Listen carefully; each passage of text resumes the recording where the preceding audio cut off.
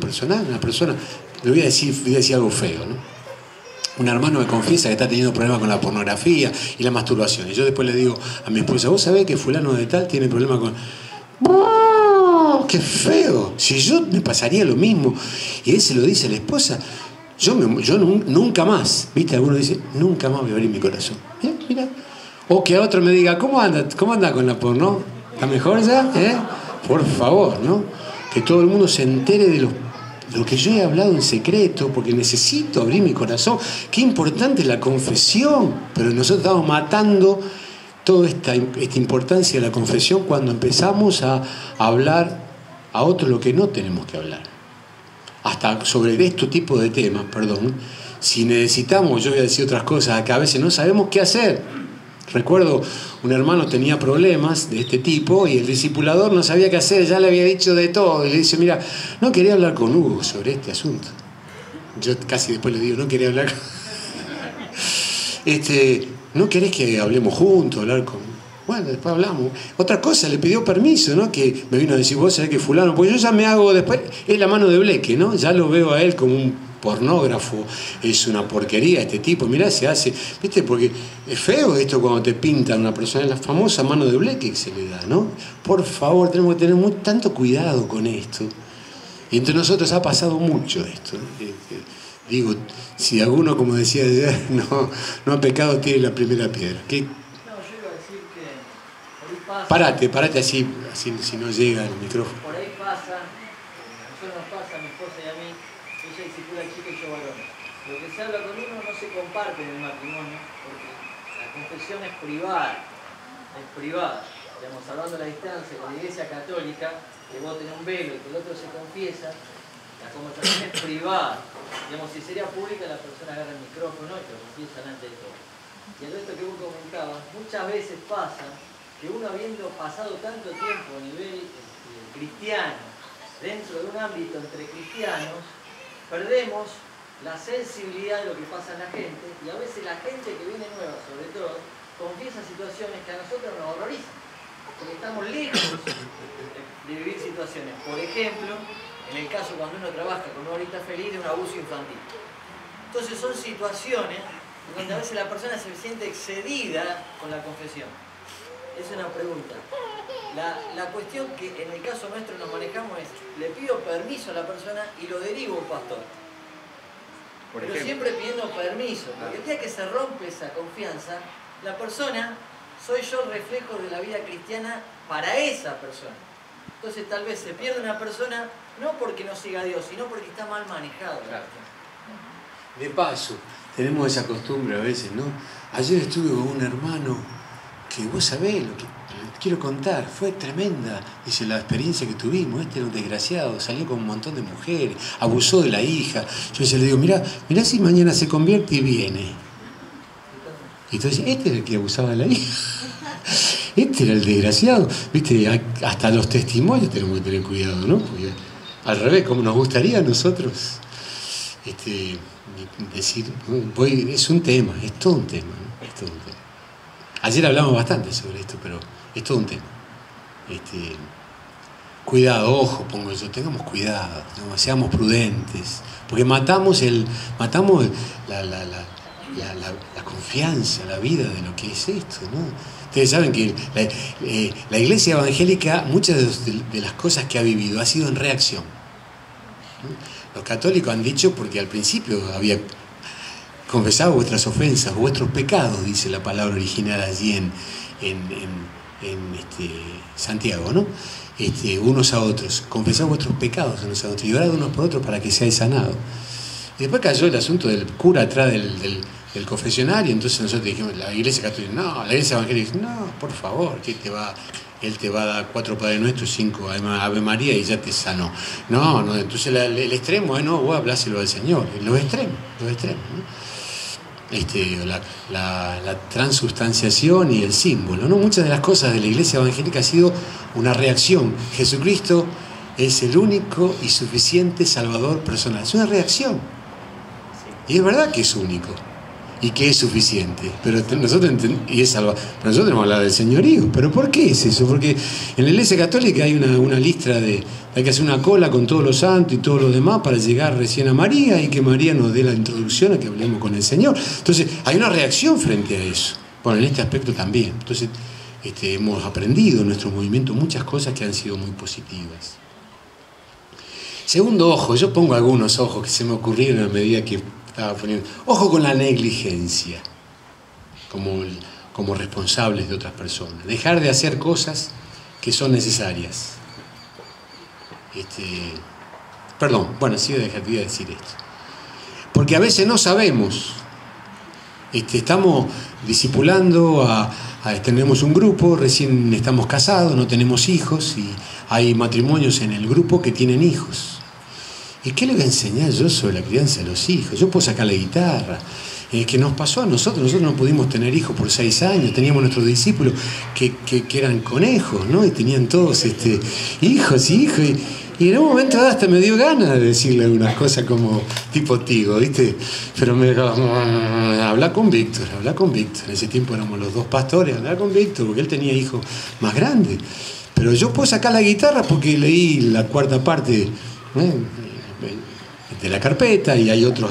Hemos leído, gracias a Dios, hemos recibido mucho, pero hay cosas que no tenemos autoridad para hablar. Entonces, como no tenemos autoridad, a veces o hablamos o no decimos nada y el otro pobre no sabe qué hacer. Entonces, ojo con la negligencia. Cuando vemos ciertas cosas, ¿cómo podemos ayudar? A veces eh, los matrimonios están con muchos conflictos. En este año y medio que pasó, año chirola, este, ha habido muchos conflictos matrimoniales, ¿no? Y a veces no sabemos qué hacer con los conflictos matrimoniales.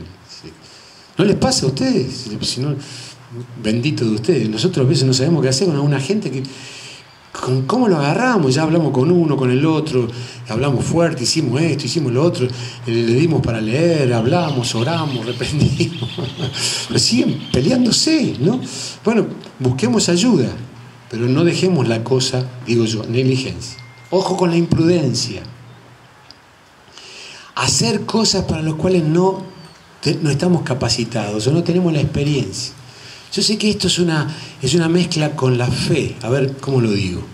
Yo recuerdo mi primera experiencia que tuve reprendiendo demonios. Y yo las cuento, ¿no? Este, me, pasó varias veces que estar con un endemoniado allí, dos de la mañana, este, se, se manifiesta el demonio, una de la mañana. Y yo allí en el baño de la casa de mis padres, con, un, con dos discípulos, uno endemoniado, y yo no sabía qué hacer, porque ya el otro tiraba patadas, hacía todo, me rompía todo el baño, y yo no sabía qué hacer. ¿Y qué hago? Este, eh, no hago nada. No, no, no, es importante que aprendamos, estas señales seguirán lo que creen. Pero bueno, pidamos ayuda, me acuerdo esa vez, había teléfonos, había por teléfono, ayúdame, porque no sé qué hacer, tráeme en un taxi, ahora lo liberamos en la noche. Me ha pasado varias veces esto, ¿no? Una vez orando con una persona que recién se convertía, una hora este, el, demonio se manifestaba, se le movía la panza así de, la risa endemoniada que tenía. Yo ya no sabía qué hacer. No sabíamos todavía que se podía atar. Até allí, al final até, lo, lo, calmé. Bueno, vamos a tener que hablar con Víctor. Fuimos los dos y, lo sacamos adelante. Quiero decir, este, ojo con, dije yo, con la imprudencia de hacer cosas que no estamos capacitados y no pedir ayuda. Animemos, no, claro que sí, pero eh, cuidado con meternos en cosas y después no, saber cómo salir. Busquemos ayuda. Digo yo, somos un cuerpo. No sé si, si, está bien si alguien quiere decir algo o agregar algo. ¿Está bien? Ojo con la crítica. De lo que no sabemos o de los que no están de acuerdo con lo que creemos. Y acá yo pienso en la iglesia, pienso en la iglesia. Tenemos que, tener más roce con la iglesia. Nosotros no somos la iglesia, somos parte de la iglesia. Este, y es verdad que hay cosas en la iglesia, en general, en la iglesia de Rosario, que hay cosas que no estamos de acuerdo. Pero hay muchas cosas que tenemos que aprender. A veces, no, a veces pensamos que tenemos que ir al consejo de pastor a ver todo lo que tenemos que enseñar. Ustedes saben todo lo que tenemos que aprender. Hay un montón que tenemos que aprender. Porque no somos la iglesia, gracias a Dios. Entonces hay que tener cuidado con la crítica. Lo hemos dicho muchas veces eso, ¿no? Mirá, aquella congregación está creciendo, gloria. En vez de decir gloria a Dios, vos tenés que ver lo que hay ahí. son toda una manga de desgraciados esos que están ahí, porque les predican un evangelio light. Y quizá algo de verdad hay, pero ojo con esa, esa porque la crítica se pone encima y, y desprecia a los demás. Señor, hemos visto a uno que en tu nombre echaba demonios y se lo prohibimos, porque no nos seguía. ¿Se acuerdan? Lucas 9. Pero Jesús le dijo, no se lo prohibáis, porque el que no es contra nosotros, por nosotros es. Ya, ya surgía ese pensamiento sectario que tenían los, los discípulos, ¿no? Que tener cuidado con la descalificación a los que no piensan exactamente como yo, y peor, como nosotros. Y entre nosotros, a veces hemos tenido un problema con el nosotros. Ha empezado a aparecer entre nosotros nosotros. ¿Soy claro lo que digo? Son grupos más pequeños entre nosotros. Nosotros somos nosotros. Primero somos nosotros la iglesia del Señor. Eso somos nosotros. La iglesia de Rosario. Esta semana los pastores de la, ciudad de Rosario vamos a salir a, a recorrer como pastores la ciudad de Rosario para orar por la paz, por la bendición de nuestra ciudad, a orar. ¿no? Vamos nosotros, los pastores de Rosario. Después estamos en la congregación. Pero ojo con nosotros, porque ese nosotros apareció allí en Corinto, una, un grupo impresionante, la iglesia primitiva. ¿no? Estaban nosotros los de Pablo, nosotros los de Pedro, nosotros los de Cefa, nosotros los de, los de Apolos y nosotros los de Cristo. Eso ya estaba en la iglesia primitiva. Ojo con los nosotros. Cuidado con eso, porque a veces somos, oh, eso Dios nos mira de lejos cuando empezamos a pensar en nosotros. Nosotros somos nosotros. Y tenemos, que tener cuidado con nosotros. Soy claro lo que digo, la comunidad. No tenemos camiseta. Nosotros al principio aprendimos que tenemos que sacar una camiseta y agarrar un resfriado, ¿no? Un resfrío, una, una gripe. Porque aprendimos que la iglesia es más grande que nosotros. Yo era bautista antes, no había mejor que los bautistas. 25 iglesias en Rosario. ¿Ustedes saben lo que era eso? En ese momento no había movimiento tan grande como el bautista. Así que había una, cuando a mí me echan de la iglesia bautista por ser lleno del Espíritu Santo, yo dije, ¿y ahora qué hago? No? Había un grupito chiquito acá de la comunidad. Qué terrible eso, ¿no? Porque esa conciencia de que, bueno, mira, pibe, cuando vos, la puerta está abierta, si vos dejás todo eso, no te olvides que acá estamos. Ahora, ojo, porque ese es un, es un concepto de todo grupo a veces cristiano que nos hace mal, miramos a los demás de arriba.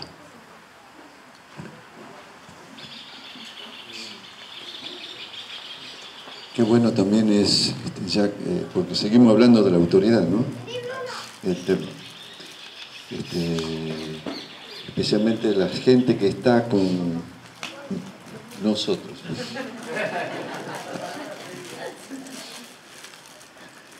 Eh, poder, una, de las eh, partes del crecimiento es integrarlo, la integración al resto. No es el cuerpo de Cristo, el cuerpo de Cristo es todo. Entonces, integrar, la capacidad de integrar al resto. Quizá lo que vos decís es lo que pasa con Bernabé, ¿no? Cuando lo agarra a Pablo, que no lo quería nadie, y lo integra a la iglesia de Jerusalén. Este, capacidad la de Bernabé de, integrar ¿no? a, a otros. O sea que el grupo familiar no es la iglesia toda. Absolutamente. Eh, entonces, poder integrarlo al resto. Hay otros hermanos que debe conocer. Claro. Eh, incluso hay situaciones que la... ¿Se escucha? Hay situaciones que el líder no puede solucionar. Eh, a lo mejor puede... me pasó una vez este, alguien que tenía problemas con la administración del dinero y bueno, este, pero le dije, ¿y cuánto es tu deuda? Y mi deuda dice, son 200 mil dólares. Y yo podía más o menos poder administrar este, pero ya 200 mil dólares y deuda. Entonces, había un hermano en la congregación y le dije, mira, te conviene hablar con él, que él maneja esto entonces poder tener, integrarlo al resto, las capacidades que tenemos entre los hermanos, que son muchas. Entonces no localicemos eh, las soluciones cuando hay hermosas, preciosas soluciones en el resto del cuerpo de Cristo. Eh, dos cosas más que pienso con el tema del nosotros. Eh, la primera cuestión que a veces ese nosotros es explícito, verbalizado, y a veces ese nosotros puede ser tácito. En la dinámica, en la preferencia de unos sobre otros, está también en nosotros. Eh, la otra cuestión, eh, especialmente cuando uno empieza a estar en otros lugares, acá y afuera, algunos me han preguntado, yo para relacionarme con vos tengo que estar, tengo que ser comunidad cristiana, y yo no entiendo que sea así. Somos la iglesia del Señor. Eh, si yo tengo que exigirle a un grupo en Villa María, por decir un lugar donde no voy, que tiene que ser comunidad cristiana, si no yo no con vos, no. Eso, eso me parece que es sectario también. Somos la secta comunidad cristiana. ¿Algo más? Eh, vuelvo otra vez al, a este punto, ¿no? Ojo con la crítica. Me puse a repasar, de paso les, les cuento, este, repaso, eh, definiciones de, puerta, camino y meta, hablando del vocabulario perverso. Detracción. Se, tra se trata, lo, lo repaso, se trata de una conversación que denigra, que resta el honor o el buen nombre a otra persona.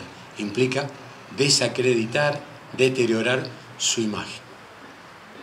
Chisme consiste en habladurías, cuentos o noticias, ciertos o falsos, con lo que se intenta enemistar unos con otros, hay textos y todo lo demás. Ustedes se acordarán de esto. Murmuración son conversaciones en perjuicio de alguien. Calumnia se, trata de acusaciones infundadas y maliciosas hechas con el propósito de causar daño. Hablando de esto del tema de la crítica, siempre, acuérdense que, el, que Israel no entró a raíz de su murmuración ¿no? este, contra el Señor y contra Moisés. Bueno, tengo otro ojo, puede ser. Ojo con lo que ayer ya hablamos también, un poquito de todo esto, el paternalismo extremo.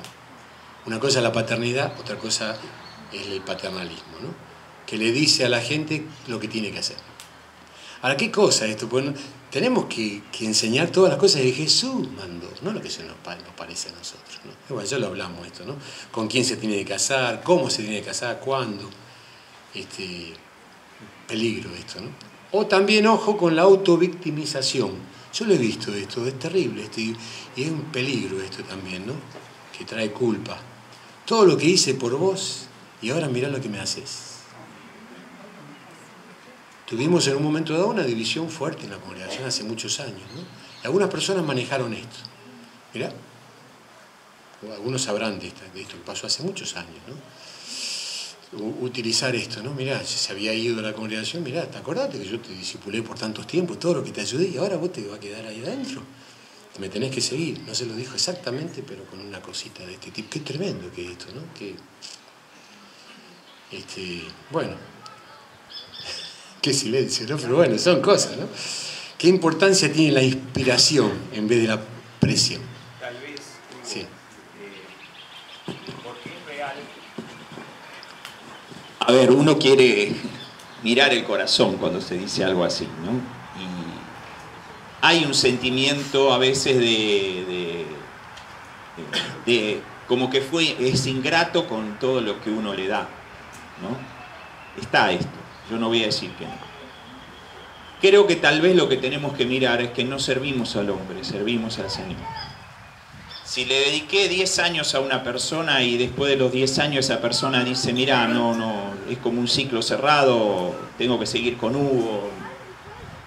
Yo creo, por. Decirle que no. Decirle que no. Está, me da letra Santi y me da letra de atrás. Bueno, deja, déjame que cierre, déjame que cierre. Eh, sí. Eh, yo, yo, quiero tener, eh, me lo tengo que decir a mi corazón, porque mi corazón es engañoso, ¿no? Pero quiero tener esta, esta actitud, quiero tenerla, de que todo lo que hago lo hago para el Señor. Que lo que hago está generando, lo diría así, depósitos en un banco en el cielo. Eh, que esa persona no me va a premiar por todo lo que hice, pero el Señor un día me va a premiar. No, no, no trabajamos por el premio, pero quiero pensarlo así, eh, para eliminar toda esa cuestión que en el corazón es lógica, pero no me hace bien. De paso, eh, esto tiene que ver con otro ojo, ¿no? Este, entre nosotros suele pasar que una persona cambie, cambie de grupo, casero, cambie de coyuntura, Suele pasar, y es lógico que pase.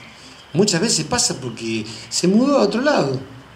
Se, fue, que se estaba en la zona norte, se fue a la zona sur, o viceversa, o, del centro al oeste, o lo que sea. Y le va a venir mejor que se junte. Ahora, mucha gente se está yendo, ustedes saben, no salen de la ciudad. Y se va Pérez, por favor, no se junten. se va Pérez, o se va a Funes, o se va, qué sé yo, a Baigorria, o se va a Villa Coronel Galvez, tenemos grupos allí. Y la verdad que lo mejor va a ser que, funcione allí, este, va a ser mejor. A veces puede, a veces no, pero muchas veces sí. ¿Cuál es el problema? No, yo soy el padre y el padre, no, no. A mí me gusta mucho ver la vida de Juan Marcos. Ustedes la han seguido la vida de Juan Marcos, ¿no? Discípulo del tío o del primo, no sé, me parece que era el tío, Bernabé, ¿no? Y termina escribiendo el, Evangelio de Marcos por inspiración de Pedro. Estaba muy cerca, algunos que hemos leído le dijeron a Marcos, mirá, si se nos muere Pedro, pues fue escrito muy sobre la muerte de Pedro, en esa, este, se nos muere Pedro y toda esta información que es tan impresionante, por favor, escribíla. Ah, dicen algunos que fue así, ¿no? Entonces Pedro empezó a contarle todas las cosas, primero Evangelio, Evangelio de Marcos. Y después termina siendo, siendo este, un elemento muy positivo para para Pablo mismo. Termina hablando bien de él, que al final le dio el raje, ¿no? ¿Se acuerdan que le dio el raje Pablo para el segundo viaje misionero? Entonces, yo planteé, Pablo llegó, regó, es verdad que hay una relación, y si esa relación se, puede mantener con el tiempo, bien, y si no, no muchos de nosotros eh, hemos tenido discípulos, eh, esa palabra a veces es verdad, pero quiero decir a veces, como hablaba ayer Gustavo, discípulos del Señor, con el tiempo ha sido mejor que otra persona lo vea. Y no hemos puesto de acuerdo y no, no nos hemos peleado por esto. Otra cosa, sí, hay otra cosa, es verdad, están las otras cosas. Hay gente que, está buscando quién, quién le dice lo que quiere, lo que él quiere. Entonces nosotros no estamos para eso. Entonces hablamos de la ética, que si se va de un grupo, por favor, hable con, hablando de grupo, hable con el discipulador, hable con el, con el responsable de grupo, pero no tengamos esa pertenencia que, que, que hace mal a la gente. Parece que es una traición. Hay gente que siente que es una, está, cometiendo una traición. No, estamos sirviendo al Señor. Estamos viendo cómo, cómo, cómo pastorear mejor a la gente porque somos, somos líderes de la misma congregación. Esto es un tema, me parece muy importante. No sé si vos querías decir algo más de ética. Eso que estás diciendo. Ah, bueno, pues sí. No sé si hay una pregunta. Yo, puedo dar una lista ¿eh? de, hermanos que han estado conmigo y están con otros. Y seguimos siendo grandes amigos. Y, hemos, con algunos, me acuerdo con uno hermoso que tuvimos, ¿eh? lo traje al Señor, estuvimos mucho tiempo juntos. Y un día dijimos, mira, hermano, no sé qué te pasa a vos. No anda lo nuestro, ¿no te parece que es así? Y otro dice, sí, sí, la verdad que sí. Y esta relación no nos hace bien. ¿No sería mejor que vos busques otra persona? Y buscó otra persona una pinturita, hoy es uno de nuestros líderes principales, qué lindo eso digo, ¿no? Que los dos fuimos, perdón, cachito, ¿no? Los dos fuimos este, suficientemente humildes para, darnos cuenta que esto no funcionaba, que somos hermanos, antes que ser, de ser discípulo y discipulador. Somos hermanos y esta relación no nos hacía bien. Este, ¿De quién era la culpa? No sé. Una vez no había culpa de ninguno de los dos, pero no funcionaba. Eh, no, ¿vieron ustedes el lenguaje gestual del el tránsito? Cómo las caras hablan a veces, ¿no? En las esquinas hay una frenada y, las caras hablan. Las caras hablan. Y, Hay mucho movimiento entre nosotros de relaciones que se construyen y se reconstruyen. Y yo me doy cuenta que a veces cuando las cosas van por un carril no esperado, me he encontrado con la mirada del otro a ver qué cara le pongo. O sea, tengamos una actitud generosa con la gente que decide no estar cerca nuestro. A nadie nos hace gracia cuando alguien cercano, que le invertimos tiempo y se va y no me gusta. Y después a veces hay un gesto adusto, hay una cara que dice, no está bien, no estoy bien con vos. Y me parece que es importante que en nuestro lenguaje gestual, nuestra sonrisa, nuestra actitud para aquellos que quizá no actuaron como nosotros esperábamos, tengamos una actitud generosa, porque me ha, me ha tocado estar del otro lado. Y me ha hecho muy bien ver el gesto de generosidad, de bondad de otros que de alguna manera fueron generosos cuando yo no respondí quizá a las expectativas que tenía. ¿Se entiende lo que quiero decir, no? ¿Cómo decís? Este, letra y canción, las dos cosas. No sé si me sale, no me sale. Si es gesto y lo demás también, es verdad. Muy bien, muy bien. Bueno, no sé si hay algo más. Esto es un tema, ¿no? Pasa entre nosotros y, es bueno que pase, quiero decir. Pero eh, la paternidad, cuando uno la ejerce... Y la persona no quiere, duele. Eh, sí, claro que sí. No, perdón. A todos nos ha, nos ha pasado esto. Y claro que duele al principio. Tenemos que... Es una oportunidad de crecer, ¿no? Trata con nuestro orgullo, dice. ¿no? yo pienso que estas cosas eh, nos ayudan a crecer también a nosotros, a que veamos cuán apegados estamos o, cuánto nos duele por ahí la ingratitud, que puede ser real, eh, y cuánto eh, nos engaña nuestro corazón creyendo que estamos trabajando para Dios, pero en realidad estamos buscando cierto reconocimiento, cierto lugar en la vida de las personas o, que tener influencia eh, y bueno, el Señor nos demuestra una y otra vez que seguimos teniendo un corazón orgulloso y, tiene que seguir tratando por nosotros. ¿no? Así que pienso que es para, para crecer todos cuando nos pasa. No, ¿Cerraste con los cuidados y los ojos o hay más? No, no, tengo más. Ah, bueno, listo. porque tenía una, una consulta sobre. Pero hay que volver mucho para atrás, ¿eh? Bueno, em, cuando hablaban de buscar ayuda cuando no tenemos por ahí la respuesta a lo que nos confiesan, eh, con estos ejemplos que se dieron de por ahí confesiones que son muy contundentes, o sea, muy fuertes o de temas pesados que no sabemos manejar y que busquemos ayuda, a mí se me ocurría que algo que hago yo a veces es buscar ayuda sin decir el nombre de la persona sobre todo cuando era una persona nueva y que recién estamos construyendo el vínculo con la confianza, lo que cuesta ganar esa confianza la podemos destruir en un segundo, eh, podemos consultar sin decir quién está consultando, ¿no? El tema, abrir el tema sin involucrar a nadie, eh, siempre que la persona nos dé la autorización, ¿no? Eh, y también una pregunta, porque uno de los ejemplos que se dio involucraba no solo un pecado, sino que también un delito, como puede ser el abuso de menores. Yo sé que es un tema horrible y enorme que no da para una charla así, pero está surgiendo mucho esto, esta cuestión de los abusos y aún el maltrato dentro de la familia, de, hombres, hombres que golpean a las mujeres o a los hijos, violencia, digamos. Y a veces me parece que no sé si tenemos un consejo muy unificado eh, y a nosotros se nos presenta, sobre todo a las hermanas que estamos con las mujeres, que a veces son las víctimas, se nos presenta un poco esta, esta cuestión de decir hasta qué punto, porque sabemos que el consejo es que se tiene que sujetar al esposo, ¿no?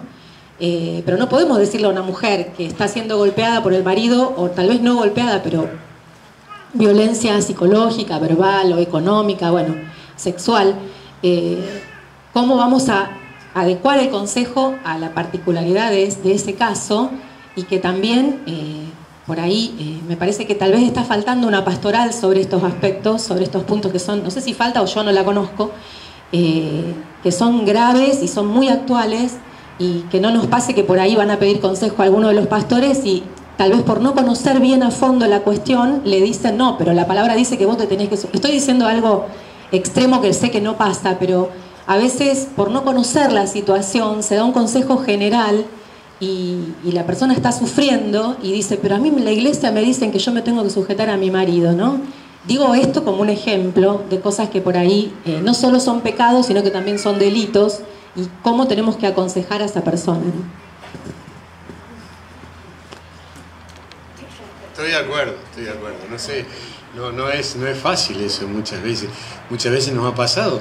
Yo he hablado a veces con, con personas que, me acuerdo, una persona, ¿no? Que el marido era un mujeriego de primera, salía con mil mujeres, este, y, también muy malo, y, y, ella era cristiana.